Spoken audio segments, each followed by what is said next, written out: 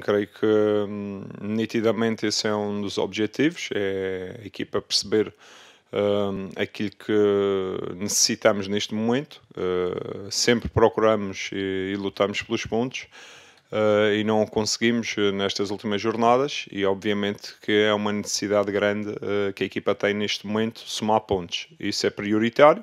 levamos uma estratégia hum, para que isso se torne ou fique mais perto de acontecer a conquista desses pontos. Estamos conscientes daquilo que foi os nossos últimos jogos, também uh, temos certezas naquilo que fizemos no último, que não foi um bom resultado, mas a equipa teve um comportamento aceitável uh, contra uma equipa forte mas percebendo que isto é um jogo diferente, respeitando na mesma o adversário, uh, sabendo da dificuldade também uh, do mesmo jogo, mas acima de tudo pensar naquilo que são os pontos, porque neste momento é muito mais importante, uh, diria fundamental para aquilo que é o nosso percurso.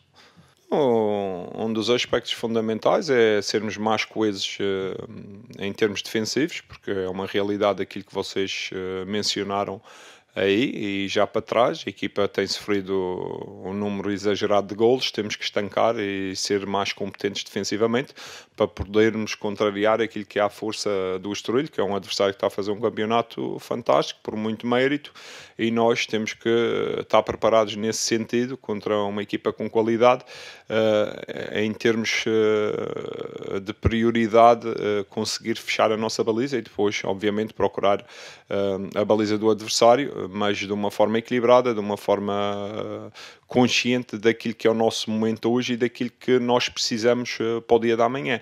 E no fundo é abordar o jogo dessa forma, mas ser mais eh, coesos naquilo que é o processo defensivo para não trazermos aquilo que tem acontecido nos jogos anteriores com todo o respeito, a nós não nos diz nada.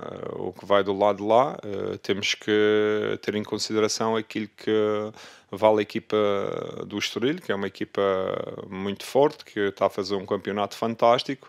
Uh, em relação ao que pode acontecer ou não e aos problemas iminentes, eu tenho muitos aqui para resolver, que é preparar a equipa da melhor forma, darmos uma boa resposta, alavancar e passar confiança aos atletas para que nós possamos mudar este momento em termos de resultados, jogando melhor ou não, sendo fundamental essa conquista de pontos. É para isso que vamos. do outro lado, não, não me cabe a mim responder a essa questão Obviamente que é uma situação que é, é pública, pode acontecer, mas não vamos alterar, alternar nada naquilo que é o objetivo para o jogo e naquilo que nós temos que fazer a, a mais a cada dia.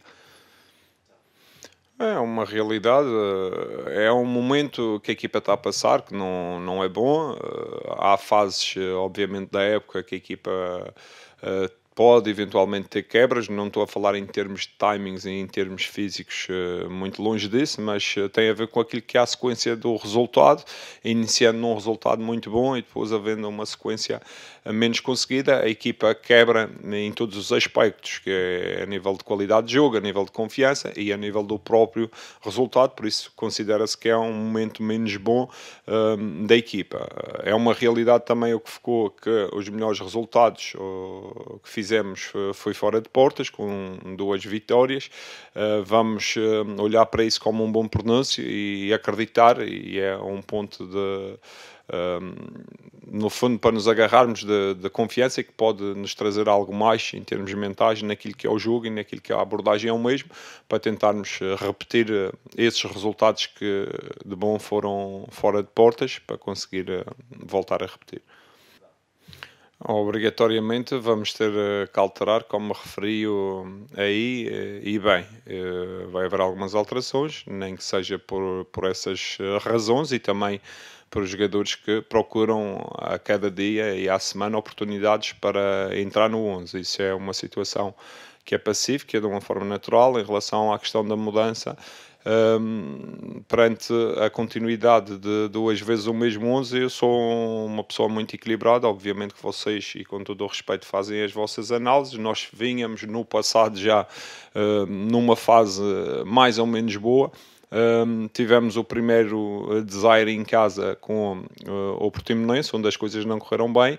Um, eu acho que isso é um sinal de desconfiança quando de um jogo para o outro que, que foi em, em, em Barcelos estar a trocar a equipa. Eu acho que todos merecem uma segunda oportunidade. Era um jogo que considerávamos que tinha corrido menos bem em termos de resultado, que o jogo não foi assim tão mal, e repetisse depois uh, com o mesmo 11, uh, um resultado que nós, uh, obviamente, não estávamos à espera e não estávamos preparados. Aí sim, ao terceiro jogo, fez umas alterações de, de forma natural.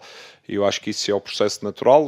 Vamos a procurar oportunidade. Aqueles que a têm têm que oferecer rendimento à equipa, uh, serem objetivos e têm os outros à perna a, conseguir a, a trabalhar para ter lugar e ganhar lugar no espaço da equipa. Foi isso que aconteceu de forma natural. Essa responsabilidade é minha, que eu é que tenho que fazer com que eles readquiram uh, essa confiança uh, e aquilo que há à procura de resultados diferentes. Uh, e obviamente que quebramos um pouco, ou mais ainda, naquilo que foi o segundo resultado, que não foi também aquilo que procurávamos em Barcelos, e aí a equipa quebrou um pouco. Um jogo, obviamente, a semana passada, ou, ou no domingo, que não é de grau de dificuldade fácil, é elevadíssima, que era o Benfica, tentamos fazer pela vida e conseguir uh, somar pontos no jogo. O Benfica, como já foi referido aqui, já falei sobre os mesmos, não vou-me adiantar muito, mas ao entrar no jogo uh, consegui vantagem, ao entrar na segunda parte dilatou quando estávamos a entrar no jogo e fez a diferença, mas perante outros executantes, isto respeitando todas as outras equipas, mas aqueles que lutam para campeão são uh, jogadores mais uh, apetrechados a todos os níveis, uh, senão uh, estariam as coisas ao contrário. Mas de uma forma natural, acho que houve uma quebra de confiança. Agora, após um momento desses, só podemos é trabalhar para que as coisas se invertam em termos de confiança e de resultado. É isso que estamos à procura. Procuramos esta semana, mas com um adversário difícil. Não foi possível, vamos procurar amanhã construí-lo.